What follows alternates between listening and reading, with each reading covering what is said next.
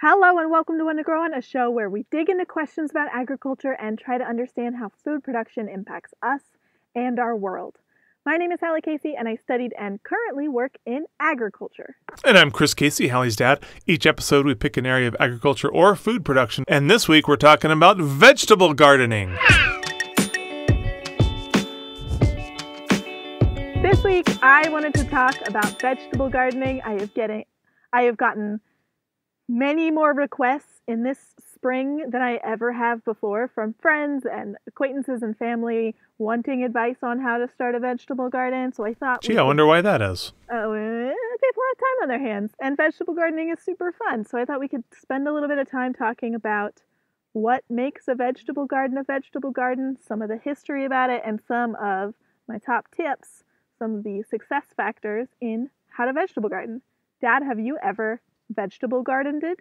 So, you know, my mom was a gardener, Mm-hmm. an avid gardener. I did hear that once you lawn mowed her artichoke, so that's kind of like vegetable gardening. I mean, she put it in the middle of the yard, and to teenage me, artichoke leaves look a lot like dandelion leaves. All right. I don't know why anyone wants to plant an artichoke in their yard. Anyway, um, I do remember growing baby corn once, and that was kind of fun. But for the most part, every time my mom tried to get me to help her in the garden, it just seemed like a whole lot of work that I didn't want to do. Mm, yes, it is work. It does take effort. That's true. Why? Why you want to put all that effort in? For fun and enjoyment. Is it and fun though? Is it really? Yes, yes, yes. Okay. It does seem kind of peaceful. And, you know, your mom and I had a garden plot in a community garden once. Mm-hmm. And we didn't use it a lot. But when we did, we did get some delicious food from it. Right, like that's a big benefit is the food is drastically better. I have like a short list of like the vegetables and fruits that are just like a whole different thing if you get them garden fresh or farm fresh versus if you get them from the store and like peaches, strawberries, broccoli, Yeah. Stuff like that where it's just it's like drastically better. That, I mean, it seems like some of it could be. And some of the stuff I have had is that was one of the times where, you know, you would pick up the tomatoes and you would just eat the tomatoes like an apple. And we thought you were crazy, but you really liked tomatoes. They're so good. Have you ever had like a garden fresh strawberry? Yeah, uh, like some little tiny ones that were That that were pretty good. blow your mind. It's insane. Yeah. It's like the best food in the world. Good stuff indeed. That's what got Shepherd Book onto Serenity. True. Very true. Except for I don't know how fresh, like garden fresh that strawberry was, but still true. So Look, everyone, she has trouble with the Star Trek and Star Wars reference, but she remembers the Firefly references. So go me. I mean, they had what, like nine episodes. It's not that hard to keep track. 14. So what I want to know and like talk about first is when people started vegetable gardening. Isn't that like the dawn of agriculture? Yeah, so like that's like the hard thing. So like the when you talk about like histories of gardening and histories of agriculture academically, they get conflated a lot as like this is the same thing. And like largely they are. It's all about people growing their own food. Um the the kind of difference from what I see and the distinction I'm going to draw for the purposes of this episode is agriculture is really more about growing food for a larger need for economic profit, whether that's from specific profit or from trade. Whereas like a home garden is, you know, negligible economic impact. It's typically just for home consumption. So like that's kind of the distinction I am going to be drawing for this episode. So, So- it's gar- it's food for fun, kind of like entertainment, kind of like Benihana. I mean, not necessarily. Like you can have a vegetable garden to feed your family, and we're going to talk about that. Um, but yeah, you're not growing it to support yourself and to make money off of it, basically. Got it. All right. So again, gar- people have been gardening for a long time on account of needing food. Um, I can't go into all of the histories of gardening throughout all of the world, so I'm going to talk specifically about the U.S. and a lot of U.S. history is informed by British history and British culture. So we're also going to be talking about the UK. So this is a very white Western kind of look at the history of gardening, but we don't have infinite time in this episode. Maybe we can do more histories of gardening from other places in the world in other episodes. I would look forward to that. So, a vegetable garden, also called a vegetable patch or a kitchen garden or a potager, A what? is a kitchen garden. A potager? A potager. A potager. I'm pretty sure that's how it's pronounced. I'm going to be honest, I had not read that word in this context until researching for this episode, so I could be pronouncing it wrong. I don't feel like I've ever read that word, and now I think it's a great word that should be used more. Yeah, it's a lovely, lovely little word. If it's pronounced potager. I mean, it's probably good if you pronounce it a different way too. I don't want a vegetable garden. I want a potager. Maybe it's potager Oh, well, then I don't want one of those. or a potager. Definitely not. Um, yeah, so people have been gardening for a long time, but in the 1790s in the UK, or I guess at that point just England, um, after war broke out with France, there was widespread food scarcity, and so the allotment movement began. So here in the US, we call them community gardens. In England, they call them allotments. So the government created land specifically for people to use as a vegetable garden um, in kind of a community garden style. Uh, that was a branch from agricultural policy um, at the time in the 1790s. It wasn't really seen as distinct from agricultural policy, although as allotment policy went on in the UK um, into the 1800s, that was kind of seen as a separate thing. As you know, food became more readily available, and allotments became more of a recreational activity and not so much about food access. It almost sounds like, uh, you know, you, so many things come out of um, extension. It feels like, and it almost feels like kind of shades of that, where like there's this agricultural policy, and like, oh, we need to get more people involved, so hey, let's go create a little thing. Yeah, I mean, it was just that you know there there was not enough food, there was scarcity from the war, and so they said, okay, well, if we give people who don't currently have access to land some area of land that they can farm, then they can grow their own food. So it was really built out of a response to that, this specific policy, and then from there it became a more popular thing, and food access became less of an issue, um, and so it became more of a, of a of a recreational policy. Got it. Got it. It also became in the later 1800s in the in England um, much more something for kind of the gentry to do. It became much more popular for the upper class to have like walled vegetable gardens or decorative vegetable gardens or kitchen gardens off of their manor or something like that. Not often something that they would tend to themselves, um, but like Queen Victoria had a very large vegetable garden, um, and it just became something that was more seen um, as a status symbol for people with land to, to be able to have garden fresh vegetables. And that also trickled over to the US as well. And that became more of a thing as the US was taking influence from that England Victorian culture. Did any of them have a secret garden? Uh, probably. I think that book was written like in the like early 1900s, so it's probably influenced by this like walled garden movement. Just about every piece of British literature that uh, I've seen or read, you know, there's a gardener involved somewhere, somehow. Right, yeah. And so one thing that I'm not really including in this episode is like the larger idea of a kept estate um, and like a a landscape garden and you know topiary and mazes and things like that that were much more a, bi- a bigger influence in that kind of land culture of the of the upper echelons of you know the Victorian England. Um, Got it, okay. Specifically talking about you know vegetable gardens, but like yeah, you know gardens and keeping them generally was was a huge thing. So, um, so in these fancy walled gardens and Mhm. later in these, I guess, sort of recreational public gardens, what kind of vegetables did these people like to grow? Well, so there were there was a lot of different things, a lot of stuff that we still grow today. Fruit trees were very popular. Um, there is a technique uh, of growing fruit trees where you basically prune them back to a wall, so they're kind of trimmed along a wall, and that was very popular at the time with these walled gardens. But of course, you know, potatoes and onions and a lot of the vegetables that we eat today, but there also were a lot of vegetables that we don't know about today that were just kind of lost, whether they were regionally native, so they're from that area and now we don't eat them, they're not in the, you know, cultural menu, I guess, of fruits and vegetables that are known, um, or if they were just some kind of specific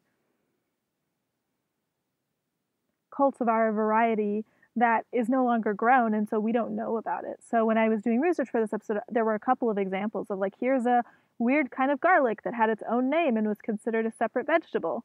But you know, it's it was grown then and now we don't even know about it. We've never heard of this word before. So we lost a lot of those like really unique vegetables. Oh, I don't like losing food. That makes me sad.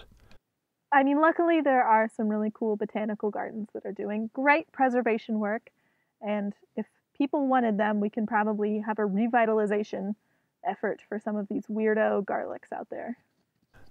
okay. So it was in the UK and it was later also in the US. Mm-hmm. And in 1902, the US had its first school garden, which was in Hell's Kitchen in New York. Um, another kind of different thing in when considering vegetable gardening is like that urban versus rural. So for a lot of rural people, Throughout history, it's been very common to have a small garden because maybe it's harder to get into town. Um, but between the 1910s and the 1930s, here in the US, we had the Great Migration, where a lot of rural black folks moved up into urban cities up in the north to escape the Jim Crow South. And they brought gardening with them, and, and urban vegetable gardening became a part of that culture up in the north um, for many African American communities in these urban cities. Later on in the early 1900s, we had World War I, and food again became an issue both here in the US and in England. Um, so we had things like victory gardens, um, which were also called war gardens, which basically um, there was less food, and so the government was creating propaganda to encourage people to garden so that food could be sent overseas to soldiers um, for like soldiers' rations. Do you remember watching Veggie Tales? Yes. You remember the episode where they were like vegetables fighting each other? That was a lot of the episodes, Dad. That was mostly like the premise of no, Veggie Tales. But there was like a, they weren't just arguing; it was like a whole battle. Uh, I don't remember the whole thing. I don't know. Oh, you say the war- Jericho episode? Oh, that could be. That could be. Yeah. You, but you say uh, War Garden, and it makes me think of that.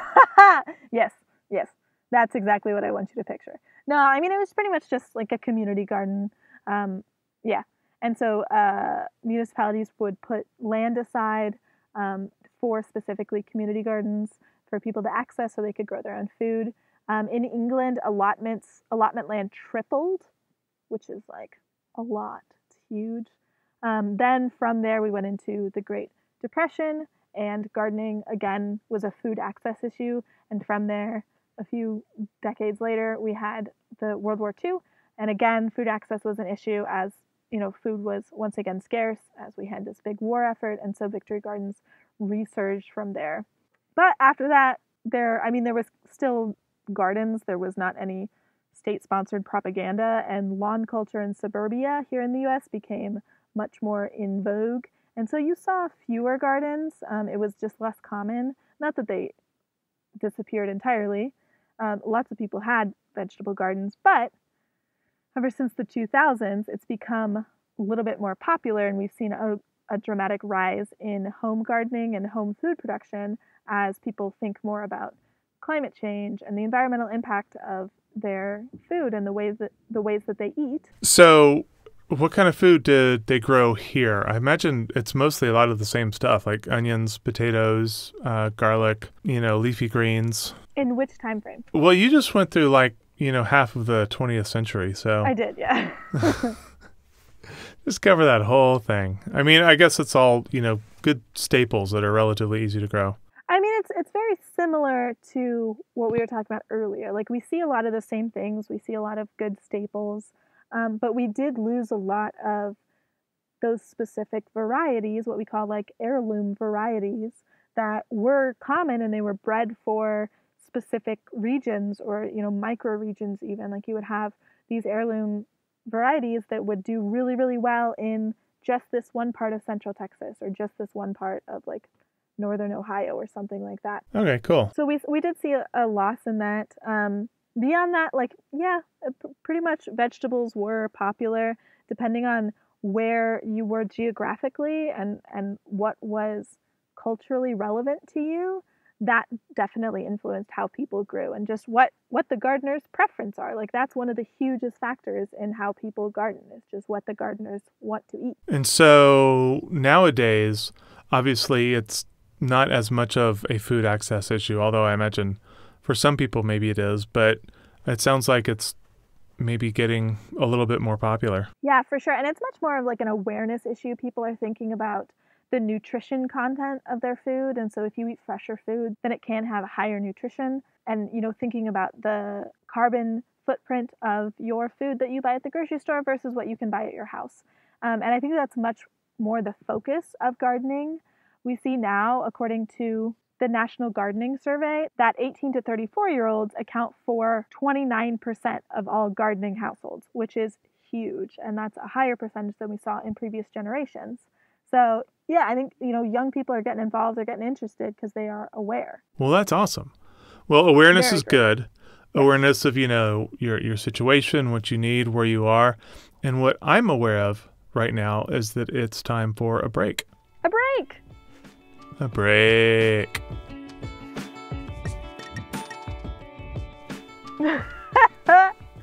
Welcome to the break.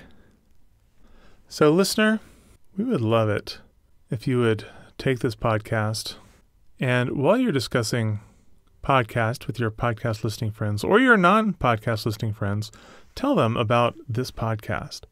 Say, hey, friend, I love this podcast and I think you'll love this too because we think if you love this podcast, then they will also love this podcast. Spread it as you would spread seeds in your garden. Maybe you're talking about what a superfood is. Maybe you're talking about how to start a vegetable garden. Maybe you're talking about confusing Star Wars and Star Trek references. we really, really love making this show, and we're trying to make it for the people who are also interested in these ideas and these conversations. And we would really appreciate it if you shared it out. We don't pay for any advertising or anything for this show, and so word of mouth is really the only way that we're growing. And we would just love to have more people here who can contribute to the conversation and you know who can have fun with us here in this in this little podcast community that we're trying to build. So, I mean, honestly, I hope we never pay for advertising. I mean, who knows? I, I could totally see us getting a billboard. Let's get a billboard along the highway. Oh, Do you well, there you love go. food? Do you eat food? Check out this podcast. It's just a picture of me with like two thumbs up, like, hey. An extra shout out to our patron listeners, especially to our Starfruit patrons Lindsay, Vikram, Mama Casey, Patrick, and Cheyenne. and to our newest patron, Andrew, thank you so much for joining us. Hello, Andrew. Really Welcome. you coming to join us over on the Patreon. All right, well, back to the episode. Back to the episode. Dad, do you have a nature fact for us?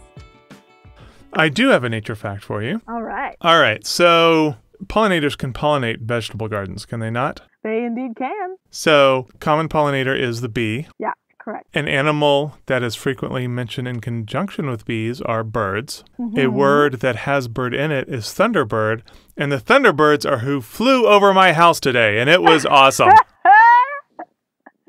Very good. It was it was cool. Uh, it was a nice little flyover of San Antonio and Austin. Dad, real quick for for our non-arrow minded friends, can you explain what a thunderbird is? Okay, so the Thunderbirds are a group of pilots in the Air Force that fly fighter jets for show, basically. Uh, they are, you know, some of the best pilots in the Air Force, and it's kind of a nice job after a long career of flying fighter jets, and they do stunts and they do flyovers, and they were doing a flyover of San Antonio and Austin in honor of uh, healthcare workers during the coronavirus pandemic. And, you know, there's issues with uh, the cost associated with this. I mean, part of the reason the Thunderbirds exist for the Air Force and a similar group, the Blue Angels for the Navy, is for like recruiting and promotion and stuff like that. So, whatever. And sure, there's a carbon footprint. But man, when a group of fighter jets fly over your house, it is awesome. Da da da. Nature fact. Nature fact. I hope other people got to see them. They were extremely loud. Yep. So you want to start a vegetable garden. Ho- hold on there, cowboy. I bet someone wants to start a vegetable garden. I I don't know that. I mean, I sometimes think about starting a vegetable garden. Well, think about it. For this exercise, we're going to talk through what it takes. Okay. Do I even as- have a spot where I could do a vegetable garden? I don't know. You absolutely do. I Really? know because mom has grown vegetables at your house. Really? Yes. Not that I've Definitely. eaten. Oh my gosh. Maybe. She Okay. lettuce last year. She listens to the podcast. I'm sure I'll hear about this. Yeah, I'm sure you will. All right. So the key factors in figuring out what you can grow in a vegetable garden are one, temperature, the number of cold days, the number of super, super hot days that you get, because you can't really do a ton with that. I mean, you can if you want to build out some infrastructure and have like a little greenhouse or something like that, but that's the key factor. Another key factor is how much sun that area gets. You can't really do a lot if an area does not get a lot of sun. You could like get some kind of utility lamp, but who wants to do that? And also tons of energy. And then the third key factor is your preference. Those are like the three things that are kind of hard to address and change. Are those in that order on purpose? No, not really. I mean, they're all Okay. like important. Like, I would probably start with preference. I would probably start with what is it that you're interested in growing, and then thinking about how the temperature and the light situation in what you have affects what you can grow. Okay. You also do want to consider your soil. It is possible to grow without soil, right? So, like if you're in a container or something like that, um, and you're probably going to be amending your soil regardless. So, if you're doing an in-ground bed, you will need to be thinking about, you know, what what my soil is, but you are going to be amending it. So, it is a factor, but it's possible to work around it. I mentioned in-ground gardens. That's basically where you put plants directly into the ground you're still going to be doing things like digging it up and amending the garden and like tilling and stuff like that. But you have Now- other types of gardens. Yeah. When you say amend the garden, Yes. do you mean like adding compost, adding nitrogen, or doing what? Those things? Yeah, pretty much adding compost. Adding compost oh, okay. is mostly what I mean. All right. Um, so yeah, you want to amend your soil if you're doing an in-ground bed because it's very helpful to have compost that's adding microbial life and adding organic matter, which can increase your water holding capacity. Um, you can also do a, a raised bed garden. So this is slightly up above the ground. You can, if you want, dig down into the ground, but one of the big benefits of having a raised bed is that you usually don't have to till down into the dirt very far. Um, so you're you're like adding six inches, an inch, or six inches, a foot, two feet to your garden bed. Um, and so you're not having to like do the work of digging it out. But that also means that you're having to bring more dirt in and you're having to bring in like potting soil or garden dirt or whatever it is that you're using in order to fill up this box. So it can be a little bit more expensive. Okay. And you have to have the box or build the box in the first place, which sounds like even more work. I mean, it's, I would say getting the dirt is harder. Building a box, you just go to Home Depot, you get four pieces of wood and you nail them together. Four? Yeah, one for each side. It's a square. You don't need a piece of wood on the bottom? No, you don't want a piece of wood on the bottom. Oh, so you're just building dirt up higher, basically. Pretty much. Okay, cool. You can also do container gardening, which is not open to the ground and is really helpful if you have like a balcony or a deck or something like that, where you want to just put something out, but you don't want to like deal with the actual soil and do something larger. Um, or if you're like in an apartment and you don't have a lot of space. It's also helpful if you want to do something that your temperature of your region might not really be as accommodating to. So, like, I've done strawberries before in places where it might have been too hot to do strawberries, but I can just pull them in on like the really, really hot days and then put them back out later. Because you're a wizard. Because So- I get a pot and I can just put it in a pot and then pull it in. Oh. Okay, so it's a it's like a potted plant. I thought I was going to ask if it was like hydroponics. No, no, just no, a okay. plant. Just a potted plant. So you still have soil, it's just not the ground. So it's not really what we call soil, it's what we call soilless media. So that would be like potting soil, which is 100% organic matter. So that's like a peat moss or coconut coir, which is the outside of the coconut or something like that. That's like a alternative medium that ha- doesn't really have any minerals in it. So it's called potting soil. Yeah. But it's not soil. It's not. It's soilless. Okay. I feel Right, like the- maybe we talked about this in our soil episode, but this is getting too deep in the weeds for me, so to speak. I, I think we did. But like, yeah, remember we talked about soil and like most of it is just broken down rock. A potting Okay. soil doesn't have any broken down rock. It just has broken down plants. I see. Okay. and it's much lighter because it's like just like this light fluffy carbon stuff which is nice um, so it's really a lot easier to move it's cheaper a lot of benefits to using potting soil All right. you can also do an indoor garden which would be something like having container pots but inside or doing something like uh, i've seen like spice walls before where people like have a little container by their kitchen if they have a window and you can just put all your little herbs and grow little herbs But you have to have a window with sun. or buy a lamp from Or Home okay. Depot or A Smart or wherever. Okay. If it does the job, sure. So another type is permaculture. So this is a type of in-ground planting where you're planting directly in the ground, but the idea is that you're planting it to be a more permanent landscape. So usually it's not in rows like a typical vegetable garden, um, and typically you're trying to build it out to be longer lasting. So it typically includes fruit trees or fruit vines, um, and the beds that you have typically don't get tilled every year. So it's like a it's like a landscape as opposed to just a vegetable garden. Okay. Cool. So it's like part of the part of the decor almost. Yeah, for sure. Another type of garden, the last one I'm going to talk about is a hoop house. This one is the most amount of infrastructure of any of the ones on my list. Um, this one we did a lot when I was living in New Mexico because it gets really, really cold in New Mexico. You have a very, very short um, summer season, so it gets cold really quick and then it stays cold for a long time. So having a hoop house, which is basically what we did, is is we bought really long PVC pipes and then we put like stakes of rebar in the ground and then we would bend the PVC pipe in like a U shape over it. And then we would just like do that like 10 times and then put a tarp over it basically like a see-through plastic so that the light could get in but basically it was much warmer inside of this little house that you build Now, just as an extra weird little piece of trivia for the people that know us, a hoop house has nothing to do with a hoopy house, nor is it where your username on Discord comes from. it is not where my Not- okay. username comes from my internet username is that hoopy which is a douglas adams joke that is extremely obscure and i thought i was really clever at 15 for thinking of I mean, for a 15 year old, it was pretty dang clever, I gotta say. thank you very much I was impressed. Okay, so you have all of these options. They all require sun and they all require water, I'm guessing. Well, they don't all require sun, right? There are famously a lot of people who grow plants indoors with no sun. You can just get a light bulb. You need some kind of UV radiation. and they get busted by the FDA. No, I the mean, DEA. you can do that with tomatoes. you can do it with tomatoes. You can do it with whatever you want. all right. Uh, cannabis is not the only thing that needs that can grow with lamps. Plants just use sunlight uh, for the the energy for the photon energy to convert CO2 and water into starches, and so they can get that energy from tons of stuff, including just plain old lamps.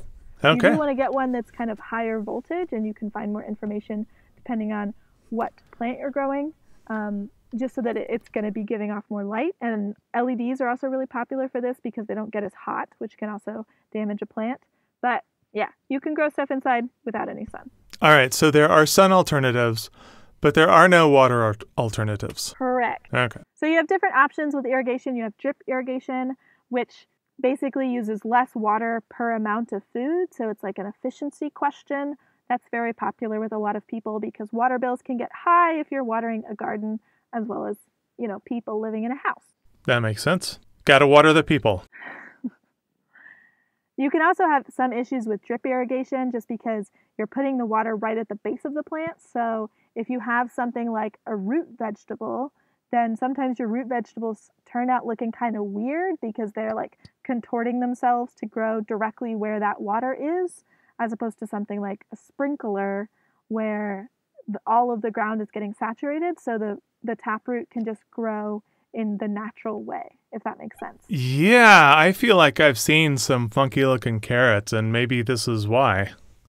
Well, there's a lot of reasons to have funky looking carrots. Like maybe there was a rock in the way, and so it had to grow around a rock or something like that. No, I had no Uh, idea. Yeah, I mean maybe the dirt was super constricted, and so it was just growing weird. There's tons of reasons. Um, sprinklers are a good option for yeah something like root vegetables if you want. Uh, they can also be a good option if you have like a lovely ground cover. So if you have like a permaculture setup, you can just sprinkler it if it's something that's maybe not fully grown in and you're trying to like encourage it. Um, sprinklers are also often used for leafy vegetables because leafy vegetables can be super tender. So stuff like lettuce and arugula. Um, so they're prone to overheating, but they're also like summer vegetables. So spritzing them with a bit of water during the day can help cool them off. Oh, nice. Like a nice little mister on your skin. Exactly. People love it, plants love it. It's great. Okay. You can also have something called subsurface irrigation, which is pretty cool. I have used this in one form, which is called the olla, which is spelled O L L A. It's a Spanish word. And an olla is basically like a terracotta pot that's um, unglazed, so it's still permeable, right? There's no hole at the bottom, right? It's just a like a complete pot, and so you bury it with just the the top out of the soil, and you fill it with water, and then you cover the top. And because the clay is permeable, the soil matrix has a higher water potential than the pot of water, and so the the water moves out into the soil matrix. I'm pretty sure I got that correct, but I could be mixing it up. You bury the pot on top of where you plant your seeds? Like right next to it, basically. Oh, okay. Yeah. All right, Um, little so I- little watering pot. Yeah, that's cool. Yeah, it's it's like a little watering pot. Um, it's great. Uh, usually, you'll want to water your plants in for the first couple of weeks while they're getting used to the olla because they don't always know where it is.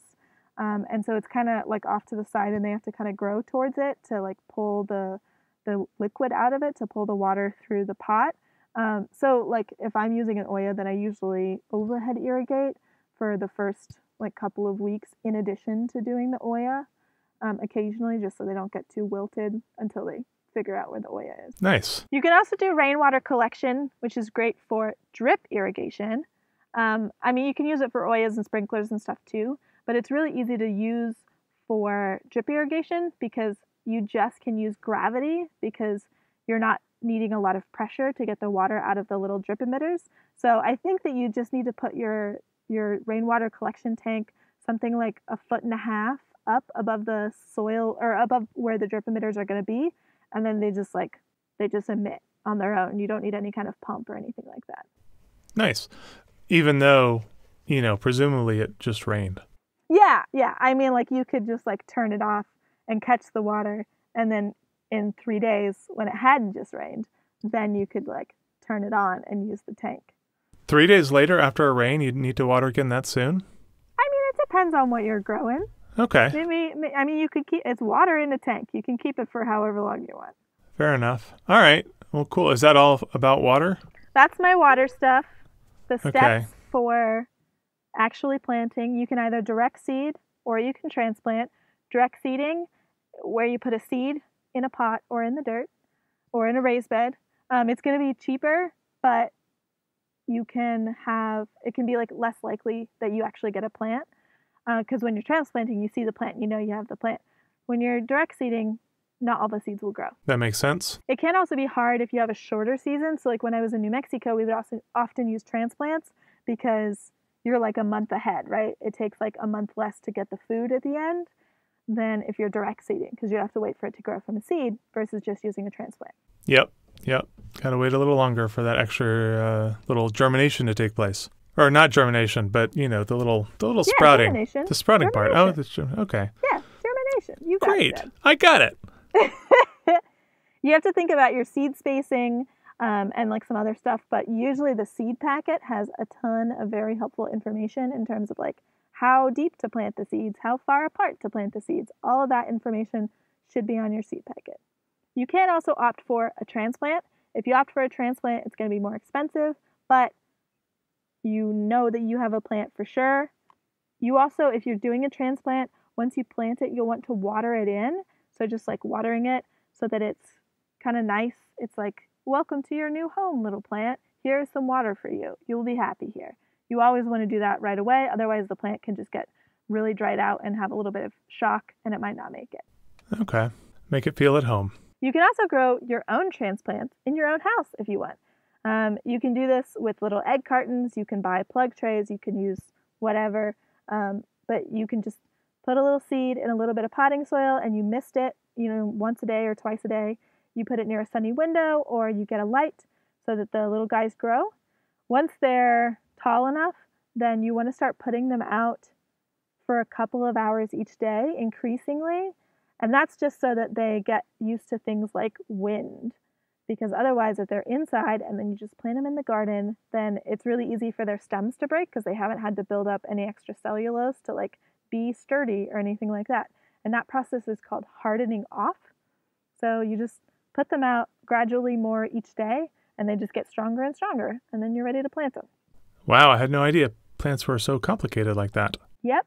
And that's all of the notes I took. Do you have any questions? So, all right, when I was a teenager, your grandmother made me dig holes for her tomatoes with a pickaxe Mhm. because it was in Dripping Springs and there was limestone a few inches down.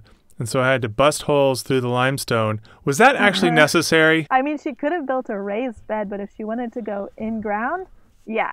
Oh, okay. She wasn't just making me do work. No, out towards Dripping Springs, there is a lot of limestone and there's like two inches of topsoil, and then it just goes straight down to what we call parent material, which is rocks.